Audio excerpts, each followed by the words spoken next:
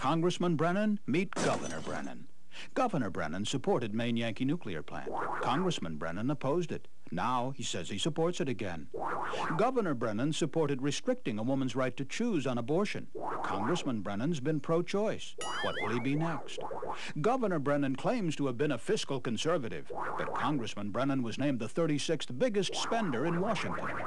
Re-elect Governor McKernan. Steady, consistent leadership for the people of Maine.